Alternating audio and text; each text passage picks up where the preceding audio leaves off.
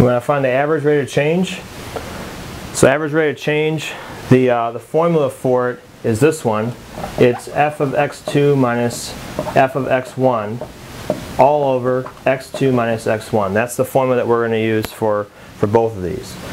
So the way this works is you're going to put in the values. We have values given for x1 and we have values for x2. So the first step would be to plug them into the average rate of change formula. Okay, so we're going to do f of 2 minus f of 0 over 2 minus 0. Well, we don't know enough information to, to, finish this yet. We don't know f of 2, we don't know f of 0 either, so we have to find f of 2 and f of 0 separately. Let's do that down here. We want to find f of 2. Now f of 2 means that we're going to put 2 into this equation in place of all the x's.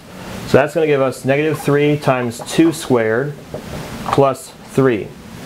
If we simplify it, we get negative 3 times 4, so that's negative 12 plus 3, gives us negative 9. So I know that f of 2 is equal to negative 9. Now let's do f of 0.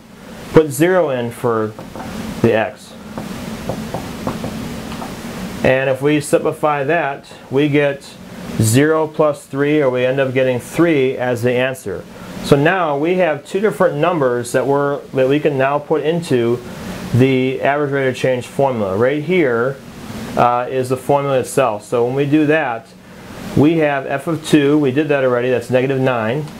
We're subtract f of 0, which is 3, and that's going to be over 2 minus 0, which is 2. That gives you negative 12 divided by 2 gives you negative 6. So what does that mean? That means that the average slope between 0 and 2 on this curve is going to be negative 6. Next, let's do the same thing for this one down below. So we're going to use the same formula. Now when we put in the numbers, that's going to be f of x2, that's 3, f of 3 minus f of 1 all over 3 minus 1. So we need to figure out what f of 3 and what f of 1 are. So for f of 3, we'll do that down here. f of 3 is equal to 3 cubed minus 3 plus 2. 27 minus 3 plus 2, that's going to give you 26. Now let's do f of 1.